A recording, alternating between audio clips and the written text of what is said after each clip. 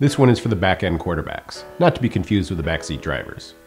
Taking care of your training and content creation teams is just as vital as taking care of your trainees. So this video will be a hit with your learning and training departments. Go ahead and share it with them now. We're confident they'll love it. For many years now, the standard in the learning industry has been to work with a subject matter expert through the design and scripting of content, review, change, edit, and repeat.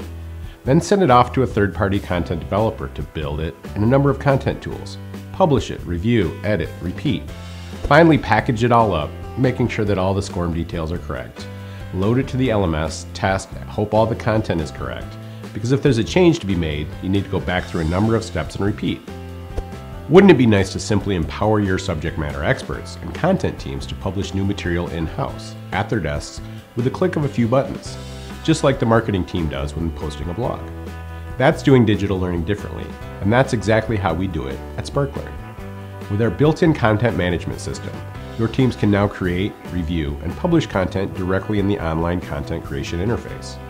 One of the goals of SparkLearn is to make learning more user-friendly for not only your workforce, but for your content teams. So we have created ways for them to get their content out quicker while still maintaining great design and review processes. I mentioned marketing having it easy when creating a blog within a framework of your website.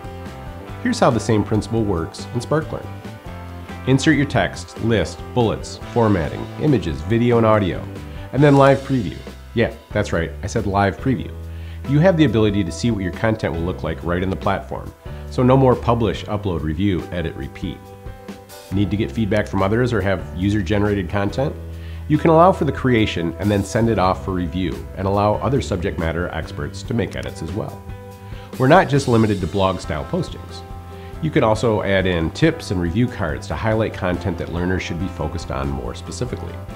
And since we are a learning platform and not just a blog, you can also build quizzes, including pre-quizzes that feed into our adaptive engine, and tests to check your user's understanding. Tests can have scoring, percentages set, and of course all of this is tracked via XAPI for record keeping and review. If you have a series of content pieces and want to group them into logical sections, you can also create courses. These are ordered groups of all the content above that are presented to the user in a way that the learner can flow through as recommended or in whatever order suits them. We mentioned images before. One thing that can slow down your workflows is finding quality images. We know this, so we've included with each instance of SparkLearn access to over 1 million high quality Unsplash images that are free to use and can be inserted in 30 seconds or less. Yes, that is not a mistake, I said under 30 seconds or less. Do you have videos on YouTube, Vimeo, or other hosting platforms? No problem. Insert your linked videos into articles, build information around them, and get them out to your learners.